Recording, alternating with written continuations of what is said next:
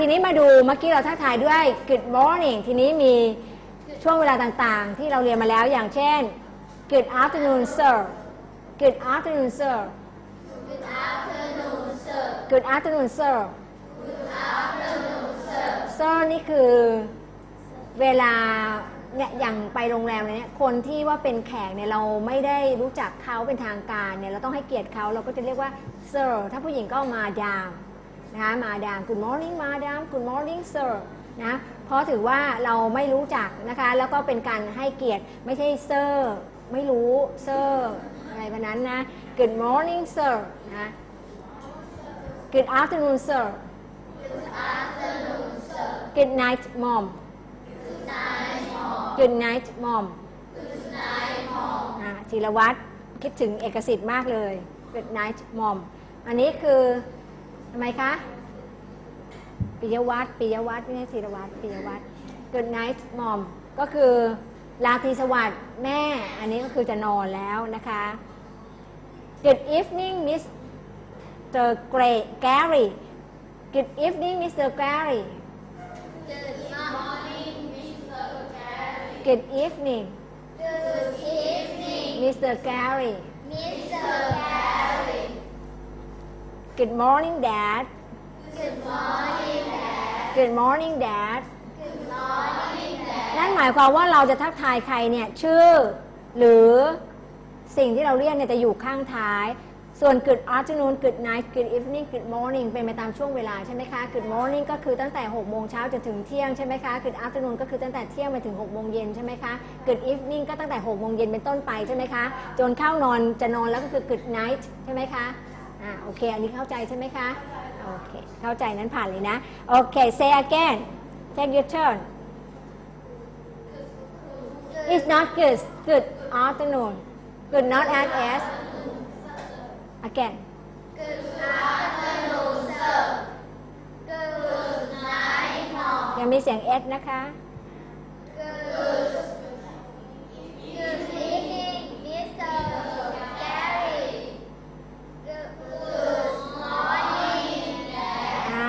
เสียงกึดกึดอยู่นะคะ ผิดนะคะ good morning good afternoon good evening good night นะคะ ไม่มีเสียง s นะ อ่า ดูเวลา ดูเวลา นะคะ ลอง อันนี้จะพูดว่าไงดีคะ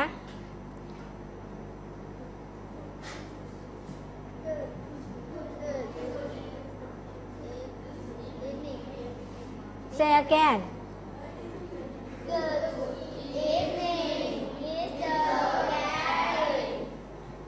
Good evening Mr. Gary แสดงว่าตรงนี้ต้องเป็น 6 โมงเย็นนะคะเป็น 6 โมงเย็น next one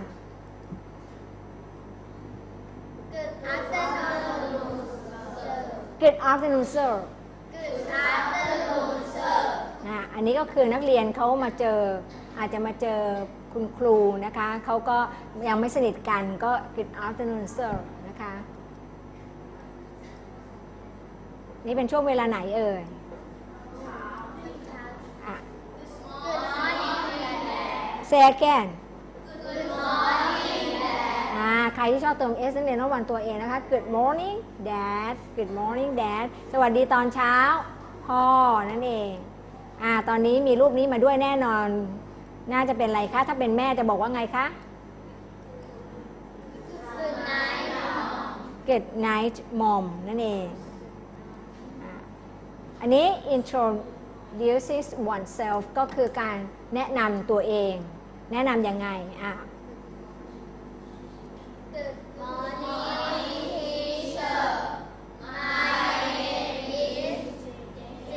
อ่า Good morning teacher my name is Jeff อันนี้คือการเจอกันครั้งแรกนะคะเส้นนักเรียนเจอครูครั้งแรก ครูไม่รู้จักชื่อ นักเรียนก็สามารถทักทายครูในตอนเช้าว่า Good morning teacher my name is บาบาบา ชื่อตัวเองนะ My name is Job My name is Jack My name is จุ๊บอะไรก็ว่าไป อะดูคนนี้ Good evening, Mr. Andy อ่าสองคนนี้เขาอาจจะทำธุรกิจกัน คนนี้เขาจะรู้อยู่แล้วว่าต้องมาเจอ Mr. Andyพอเขาเจอหน้าปุ๊บ เจอในตอนบ่ายเขาบอกเลย Good evening Mr. Andy I am John นะก็คือคนที่จะมาพบนั่นเองนะก็คือทักทายก่อนฝรั่งเขาจะทักทายด้วยคำเหล่านี้นะคะ เจอตามช่วงเวลา หรือถ้าสนิทกัน อันนี้แน่นอนเป็นเพื่อนกัน อย่างนั้นเรียนเป็นเพื่อนกันเจอกันวันเนี้ยวันแรกหลังเปิดเทอมเนี่ยนะเกิดมีเพื่อนใหม่ที่ยังไม่รู้จักชื่อ เราก็สามารถทักทายก่อนได้ว่า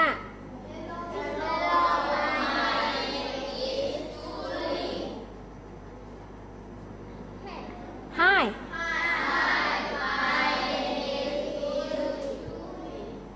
Hi my name is Julie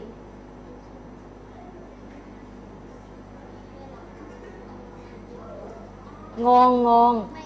ก็มันเป็นสถานการณ์ที่สองคนเนี่ย ชื่อเหมือนกัน surprising the same name you have the same right me นะคะชื่อเหมือนกันเลยชื่อจูรี่กับจูรี่แต่ถ้าเรียกไม่เหมือนกันก็ถ้ามีเพื่อนทักทายก็ทำไมคะ เราก็ต้องทักทายตอบอย่างนี้ say hello say hi นะแนะนำตัวเองเหมือนกันอย่างนี้นะคะแต่อันนี้คนเนี้ยที่ครูเอามาให้เนี่ยนะคะ ไม่ใช่สถานการณ์ คือการโต้ตอบแต่ครูยกสถานการณ์ว่าถ้านักเรียนเจอเพื่อนใหม่ นักเรียนสามารถทักทายโดยใช้คำว่า hello หรือ hi เพราะเป็นเพื่อนกันอาจจะบอกว่า hello my name is Julie เพื่อนเขาก็จะตอบกลับมาว่า hello my name is Barbara หรือ hi my name is Julie เพื่อนก็ตอบกลับว่า hi my name is Barbara หรือ I am อะไรก็ได้นะฉันทักทายด้วย hello หรือ hi ก็ได้มี มีระดับภาษาเหมือนกันอะอันนี้โจกับแจ็คกลับมาอีกรอบนะโจกับแจ็คกลับมาอีกรอบ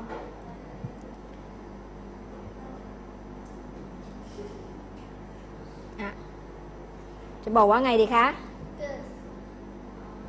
Good morning, Jack. My name is Joe. นั่นหมายความว่าสองคนนี้รู้จักกันหรือยัง รู้จักกันหรือยัง ตอนนี้รู้จักกันแล้วเหรอ ถ้ารู้จักแล้วเขาจะแนะนำตัวเองทำไม ในสถานการณ์นี้โจกับแจ็คไม่รู้จักกันเพิ่งเจอกันครั้งแรกนะคะ เจอกันครั้งแรก ดังนั้นโจเนี่ยเอ่อฝรั่งเนี่ยเขาจะไม่เหมือนเราตรงที่ว่าคนไทยเจอกันเนี่ยถ้าไม่รู้จักกันก็ต่างคนต่างไป ไม่สนใจไม่รู้จักนี่นะคะ แต่ฝรั่งเวลาเข้าไปกลุ่มสังคมเนี่ยเขาต้องแนะนำตัวสร้างความสัมพันธ์กันคือ ทำความรู้จักกันนั่นเอง โดยไม่ต้องไม่มีความอายอะไรเลย ฉะนั้นตอนนี้โจมาเจอแจ็คตอนเช้านะก็เลยเขาก็เลยว่าไง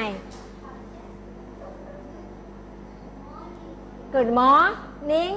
Jack ทักทายเลย Good morning Jack สวัสดีตอนเช้า Jack My name is Joe แต่ตรงเนี้ยนักเรียนดู มันผิดกับความเป็นจริงไหม ผิดตรงไหนเขาเป็นของกันแต่เขาเลิกกันแต่เขารู้ชื่อรู้ชื่อกันอ้าวเก่งนะเนี่ย อะ ฉะนั้นเดี๋ยวครูจะไปเอาออก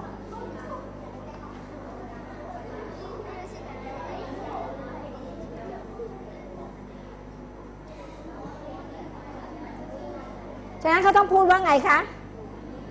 เขาต้องพูดว่าไง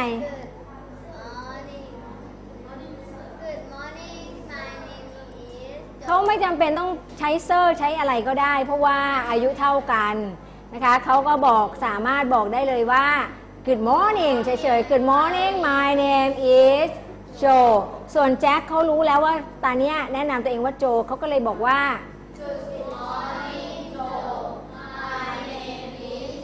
เออ Good morning Joe my name is Jack แค่นั้นเองนะคะ การแนะนำตัวเอง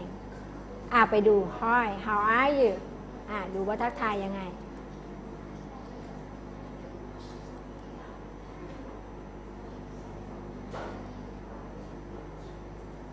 อะมีสองคนที่เขาพูดกันอยู่สามประโยค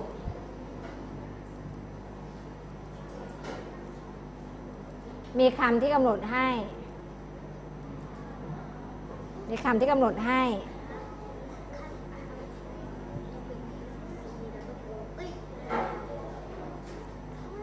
คนนี้ เด็กผู้หญิงคนนี้ควรจะพูดว่ายังไง hello Hello ถูกต้องน่าจะอยู่ตรงนี้ hello นะแน่นอนเด็กผู้ชายคนนี้พอผู้หญิงทักมาก่อน hello คนนี้เขาก็ hi how are you อ่า how are you doing how are you doing หรือ how are you มีความหมายเดียวกันคือสบายดีไหมนี้ผู้หญิงเขาเลยตอบว่า pretty good pretty good ก็มีความหมายเหมือนกับ fine ก็คือสบายดีนั่นเอง pretty good อะลองดูซิลองดูสิคะกุ๊กวันกุ๊กวันกุ๊กวัน start at first กุ๊กวันออสซิเดนกุ๊กวัน say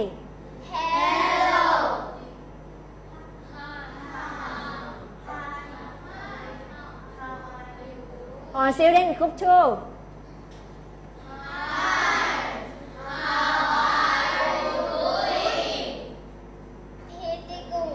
here to go one more time go one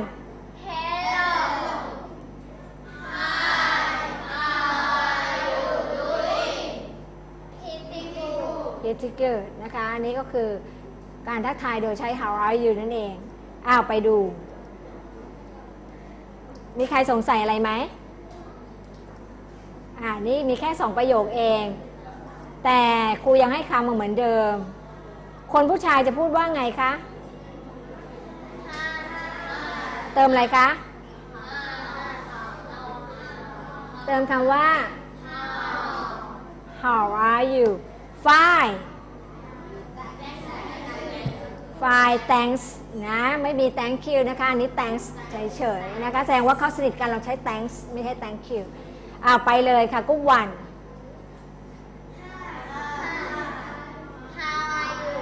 again on student กุ๊กวัน go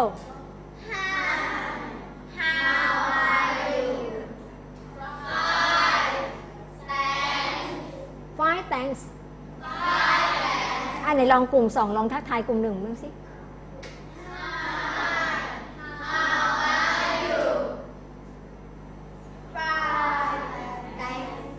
fine thanks เอาเหมือนกลุ่มหนึ่งไม่ค่อยอยากพูดนะ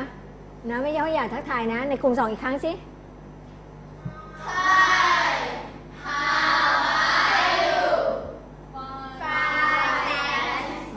คนถามเขาพาวหน่อยนะคะเพราะภาษาถามต้องดัง Hi how are you fine thanks นะให้มันเหมือน thanks จริง ๆ เลยอ่าทีนี้ไปดูสองคนนี้อ่าดูซิว่าจะเติมอะไรบ้างอ่าเติมอะไรคะตรงนี้ เติมคำว่า เติมคำว่า เติมคำว่า good good ก็เป็น good morning good morning เห็นไหมคนนี้ทัก good morning คนนี้ตอบแค่ morning good morning morning what's new what's new อันนี้ก็เหมือนกับสบายดีไหมนั่นแหละ what's new มีมีอะไรไหมมีเหมือนกับมีเรื่องมีราวอะไรไหม what's new not อะไรคะ not much มันไม่มีอะไร not much ก็ไม่มีอะไร เห็นไหมอันนี้เป็นการถามอีกแบบหนึ่งนะ เวลาเจอหน้ากัน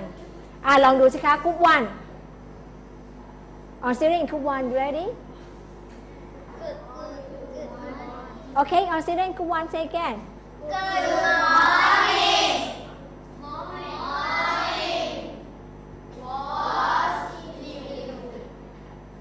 Not not much not again คุกวัน Good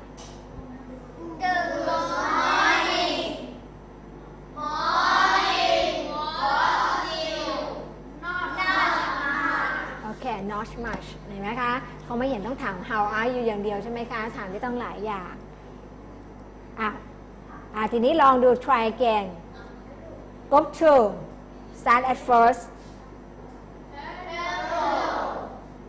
Hi. How are you doing? yes very good ตอบช้าจังเลยโอเคก็ one Hey. เฮ้ย hi Hi. Hi. How are you? again ก็ one ก็ one ก็ one no try again ก็ one ก็ one hi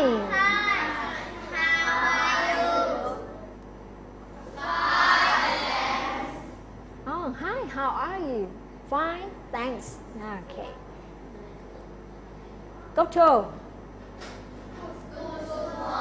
Go to again. Good morning, not good morning. Good morning.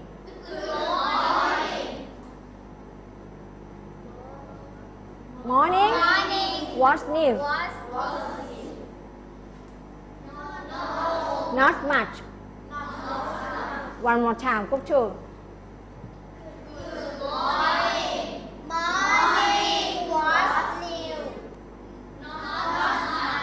Okay, not much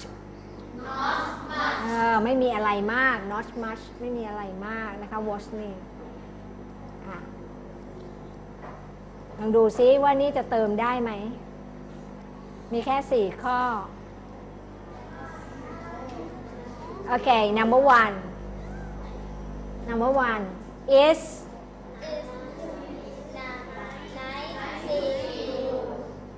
number two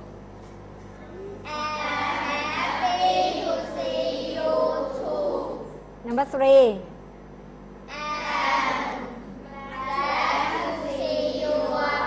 number four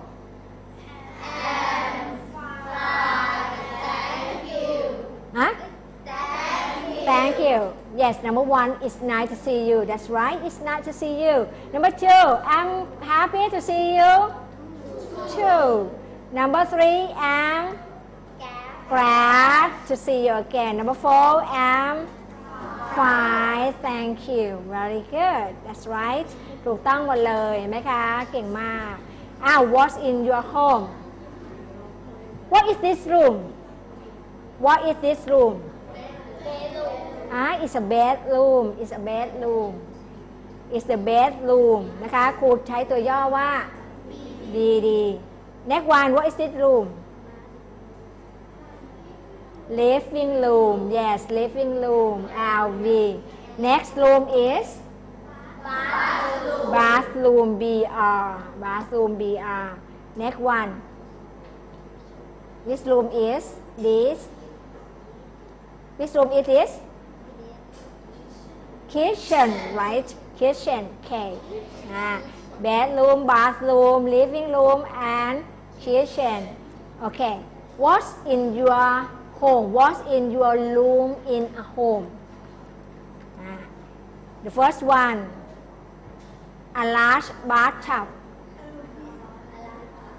B D L V bathroom bedroom living room or kitchen.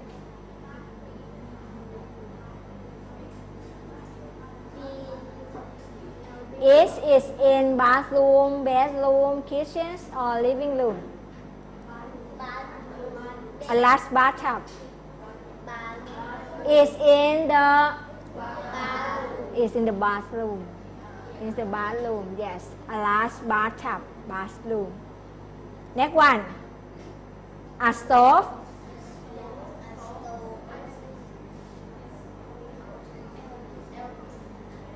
อยู่ในอะไรอยู่ในอะไร a stove a stove อยู่ในอะไร kitchen kitchen next one a dresser เดาซิ dresser a large bathtub ก็คืออ่างอาบน้ำ stove ก็คือเตาอบ dresser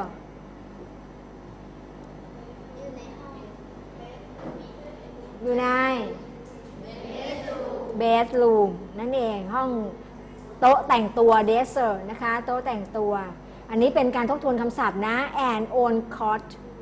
and own cot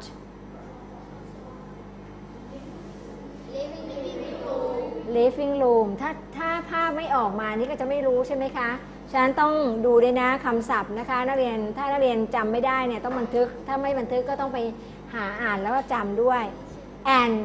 อ่า a bed sorry not and bed เดี๋ยวครูแก้ไขตัว a นิดนึง คะ ตรงนี้ต้องเป็นแอนเบสถูกไหมไม่ถูกใช่ไหมคะ เพราะว่าเบสขึ้นต้นตัวบีนะคะ เดี๋ยวครูขอแก้ไขตัวอาร์จิเคิลตัวนี้ ต้องเป็นอะไรคะ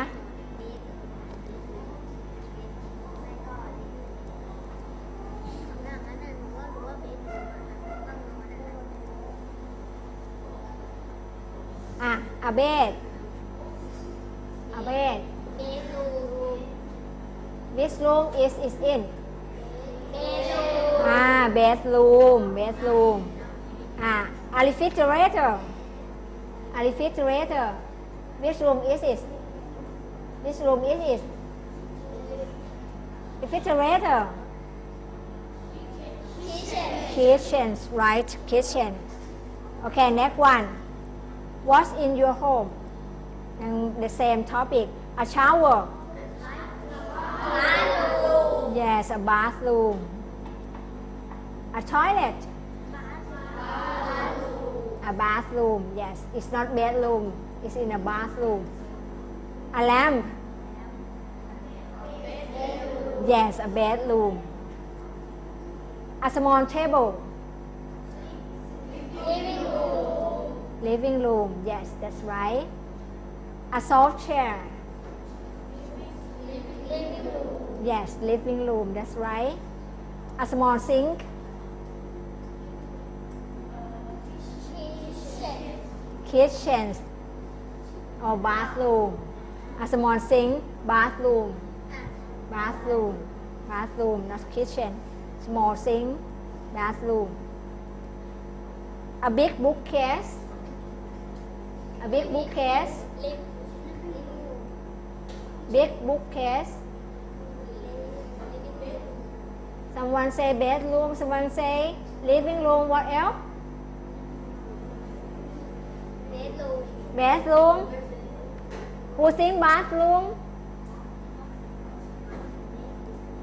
Is in the living room living room yes. A big bookcase. A TV or television? Living room. Yes a living room. A kitchen sink kitchen sink yes kitchen ชื่อก็บอกอยู่แล้ว kitchen sink a table and chairs อ่า living room or kitchen นะอย่างนี้ถ้าเป็นโต๊ะนี้น่าจะเป็น kitchen นะคะ table and chairs แต่ถ้าเป็นแบบหรูๆหน่อยก็อาจจะเป็น living room อ่าได้ living room ถ้า living room มี dining room ด้วยนะมะเป็นห้องรับประทานอาหาร coffee table a coffee table living room นั่นเองอ้าวมาลองอ่านนิดนิดนึงทบทวนในเรื่องของ alphabet ก็คือ alphabet ก็คืออักษรตั้งแต่ A ถึง Z เลย ทั้งระบบเลย 26 ตัวเราเรียกว่า alphabet อ่า A apple on student say A apple A apple อ่าเมื่อกี้เราเทสเสียงกันแล้วนะคะ Alice has an apple Alice has an apple A apple A apple Alice has an apple Alice has an apple วันนี้ครูพยายามจะให้อ่านเยอะๆเพื่อว่าลิ้นจะได้อ่อน B boy B boy Ben is a big boy Ben is a big boy B boy B boy Ben is a big boy Ben is a big boy C cat C cat A cat is in a cot A cat is in a hot สังเกตเสียงด้วยนะคะ D dog D dog The dog has a doll The dog has a dog The dog has a doll The dog has a dog E elephant E elephant Ellie is an elephant Ellie is an elephant F fish F fish A fish had fins A fish has fin นะคะสังเกตเสียงตัวข้างหน้าด้วยนะคะ G girl girl The girl has a green bag The girl has a green bag The girl has a green bag The girl has a green อ่า bag H hot H hot จะสังเกตว่าคนที่อ่านตามจากเสียงคล่องครึ่ง H hot H hot The horse is in the house The horse is in the house The horse is in the house The horse is in the house I insect I insect is an insect is an insect. Is an insect is an insect J jar J jar A jar of jelly is full. A jar of jelly is full. A kite. K kite Kitty as a kite. Kitty has a kite. A lion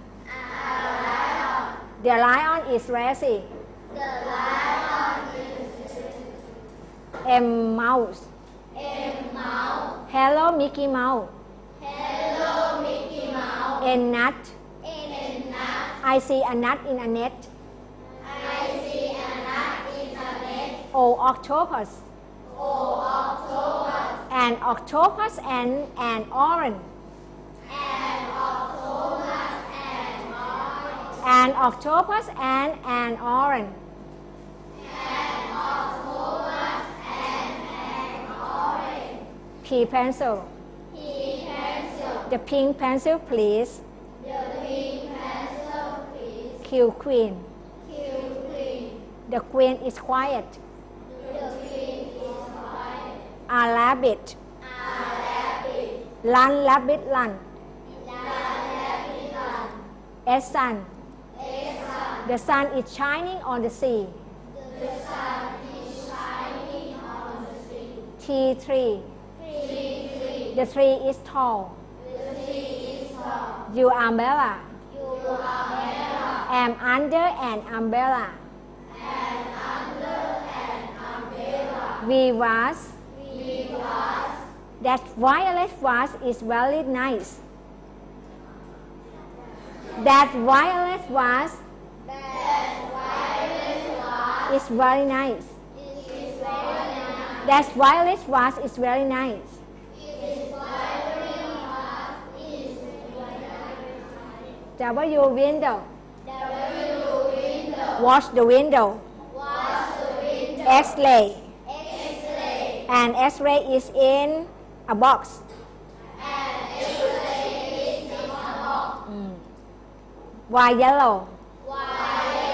A yo-yo is yellow. C zebra. A zebra is in a zoo. อ่าแล้วออกเสียงว่า Z ก็ได้นะคะ Z zebra zebra is in a zoo เห็นไหมคะเสียงตัวอักษร นั่นก็คือสิ่งที่เราทบทวนกันในวันนี้นะคะ on your lesson today okay thank you for paying attention to me and your lesson today thank you for watching see you next Thursday goodbye